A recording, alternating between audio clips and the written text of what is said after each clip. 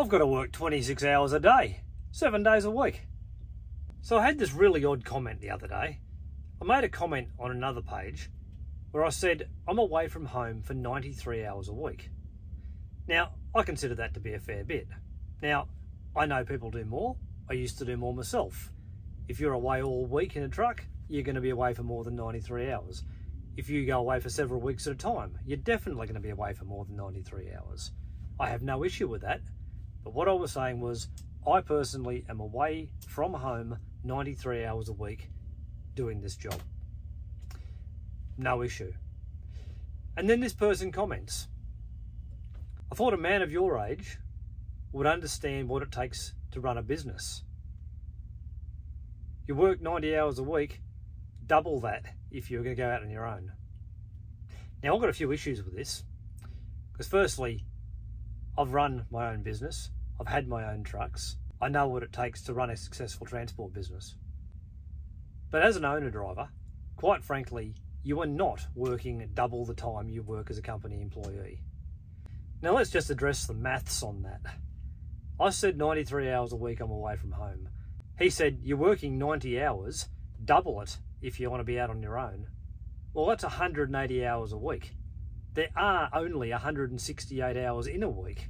So is this bloke seriously telling me that he works seven and a half days a week?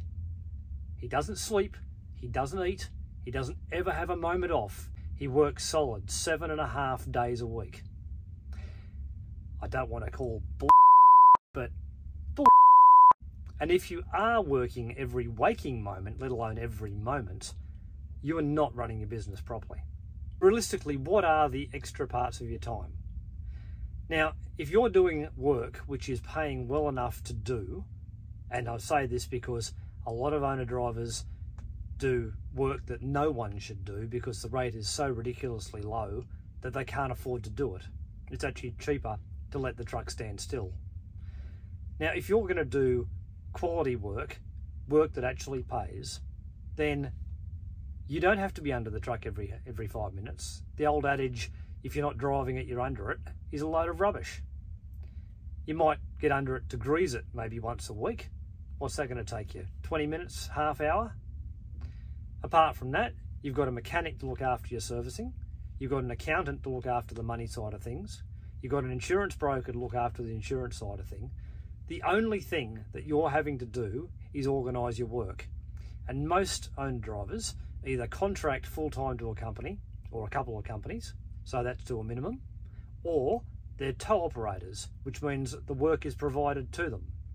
So unless you are a genuine out on your own independent contractor chasing work every week, you really don't have much extra.